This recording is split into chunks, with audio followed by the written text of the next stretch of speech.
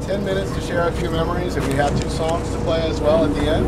Uh, if you'd like to get started by sharing a few memories at this time, you may do so.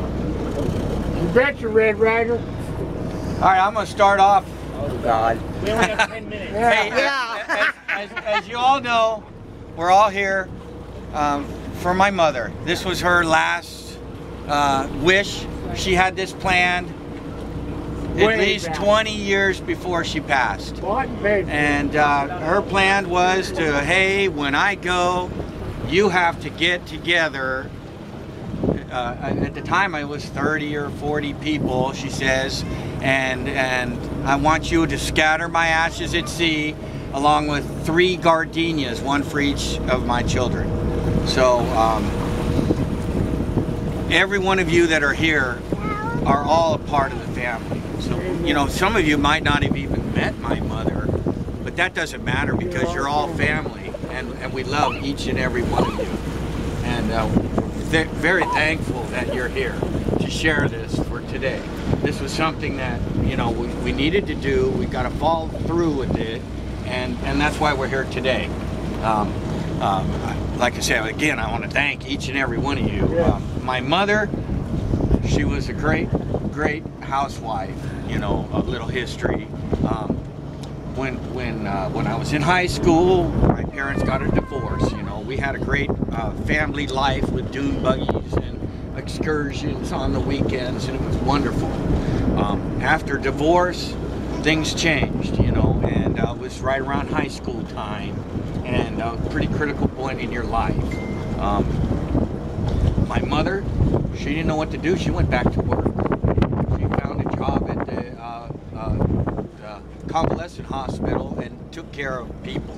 She did that on weekends, ho- holidays, pulled doubles and triples, and that's what her life was, was giving back to the older people. And um, she did that, you know, up until she retired. Until she ended up. Yeah, she ended up, uh, ironically, going to the place where she worked for over 20 something years. And, um, but anyway, to speed it up, you know, she, um, she's, she had a, uh, a, an enjoyable life, giving her love. We would come down on the holidays, bring her a turkey plate, spend some time with her, and um, and then she would always come later on. My mother, if you knew my mother, there were phases. Okay, she would show up and she'd be happy, and she'd have a couple cocktails, and she was the life of the party. You know, she'd make a point to go over and pick on you for a while, and then when she was done with you, she'd go over and pick on you, and then she'd go over and pick on you, and she'd pick a person. She had a lot and- of targets. and she would pick on, and it was almost a pleasure because she would pick on you until you're like, oh my God, you know. And the whole time she was bending the elbow, and and and then she would get a little more, and the words would start to slur a little more, but she'd still, and it would turn in from the happy Peggy to the now I'm mad. You know, and now, God damn it, you know, and you do this and that, and, and it went from the happy to the I'm mad to the all of a sudden she's crying. She loves everybody, and she is she's hammered now, and she's just hanging and loving you, you know. Betcha. And you're running. She loved to party, man. She just was a tore you worker, apart. But she would get off work. She'd go down to the Rose Room. She'd hang out there. That was her other home away from home. She'd bend the elbow, you know. She'd meet somebody at the bar, and the guy would be out of money, and she would say, "Hey," you know, and the guy would go, "Hey, you want to buy my leather coat?"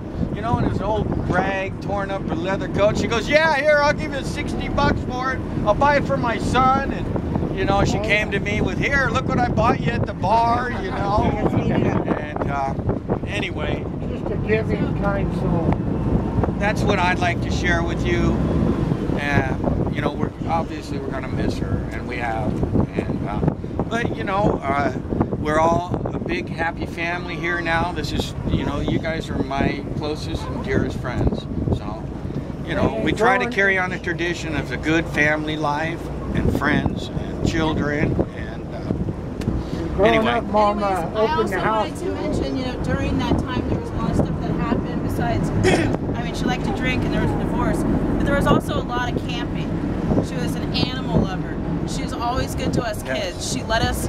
Sometimes she let us get away with so much stuff she'd get in trouble. Grandma free for all. She taught me how to drive when I was 12. She let us go to Denny's and run a Renegade. Like she, she and then got arrested. She got arrested because she let the grandchildren do what they wanted. You know what I mean? She she was a lover, and she we didn't always bring turkey to her. She used. I remember growing up, and she used to bring us canned food, groceries. She, I mean, she used to spray so much hairspray in your hair that it stuck to your forehead. Like she, I don't know. She was a really good lady. Yeah.